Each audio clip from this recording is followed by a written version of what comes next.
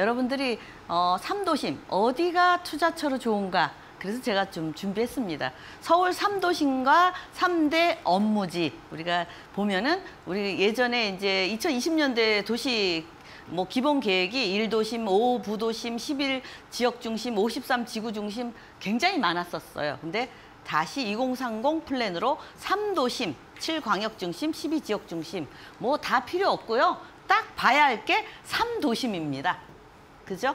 에, 우리가 말하는 광화문. 아이고. 어, 광화문에서 서울역으로 이어지는 CBD라고 하고 강남 업무지구는 GBD, 여의도 영등포 업무지는 YBD 이렇게 정해놨어요. 근데 뭐 어, 우리가 말하는 그 약자죠. 어, CBD가 어딘가? 뭐 센트럴 비즈니스 District 해가지고 도심 한양 도성이다 얘기하면 우리가 예전에 한양도 서울 중심지죠. 예, 옛날부터 어, 이쪽으로 대기업, 뭐 본사, 사옥들 많이 있고요. 광화문, 시청, 종각, 명동, 을지로, 서동, 서대문 지역을 일컫는 지역이 어, CBD라고 어, 일컫고 있습니다. 그다음에 GBD 우리가 가장 주목해야 할 곳이죠. 예, 강남, 강남 Business Di, District에서 강남. 그래서 강남하면 경제 발전의 상징, 한국 역사상 가장 성공한 도시다. 그렇게 잘 어, 대기업 본사라든가 사옥들이 위치해 있고 또 경제의 핵심이죠.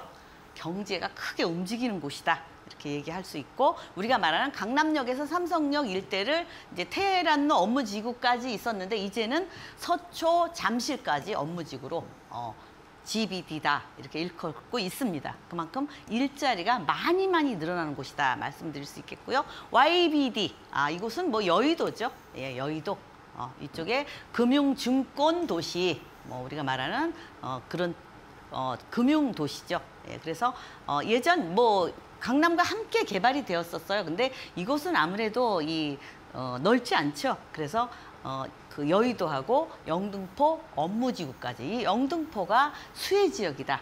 여의도가 별로 많지 않기 때문에 영등포가 업무 지역이다 이렇게 말씀을 드릴 수 있겠습니다.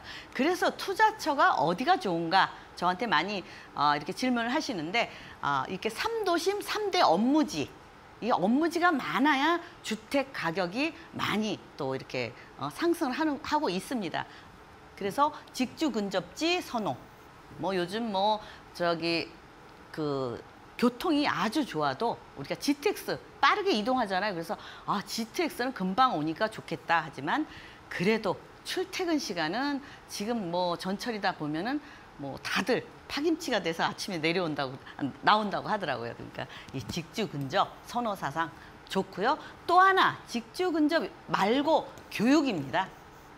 예, 가장 이것도 우리 어, 뭐 자녀들이 한 한둘밖에 없기 때문에 이 교육을 무시할 수 없고요. 또 교육을 우리나라 자녀들 교육에 굉장히 어, 그 교육 수준이 높은 그렇게 돼 있습니다. 그래서 이 중에 어, 지금 이제 직주 근접지 2위로 되어 있는데 그만큼 그 주택 가격을 좌지우지하는 곳이죠. 중심 업무지구 부동산은 임대 수익이나 매매 차익까지도 있고요. 또 이런 곳은 업무지가 많다 보니까 주택이 별로 없어요. 그래서 희소성까지 높은 부동산이다. 그래서 지금 뭐 삼기 신도시 나와 있죠. 근데 삼기 신도시 청약을 하지만 지금 토지 보상이 이루어진 곳이 한 곳도 없다고 그럽니다.